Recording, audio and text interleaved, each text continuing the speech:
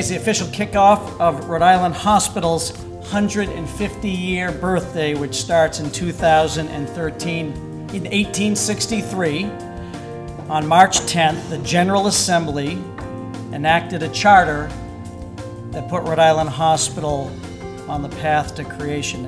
On the first day the doors opened, 6,000 people came to the hospital to be seen or treated. Behind me is the legacy timeline.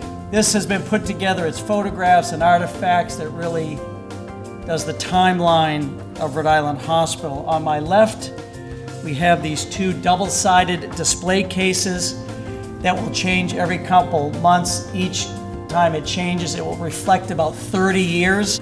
It will recognize the highlights in medicine and nursing and philanthropy.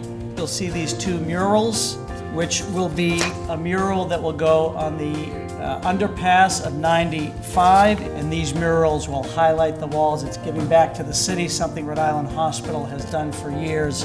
What makes Rhode Island Hospital great, what makes its legacy lasting, are the folks who have come to work here every day for 150 years. And I want to take a moment and thank each and every one of you who are here today. You are a reminder of why we are a great institution. So please, a round of applause for yourself. Clearly, Rhode Island Hospital is here to stay. We know it will be here another 150 years, and I'm delighted to see the turnout recognizing the incredibly, incredibly important role this institution has played in the state and in the region.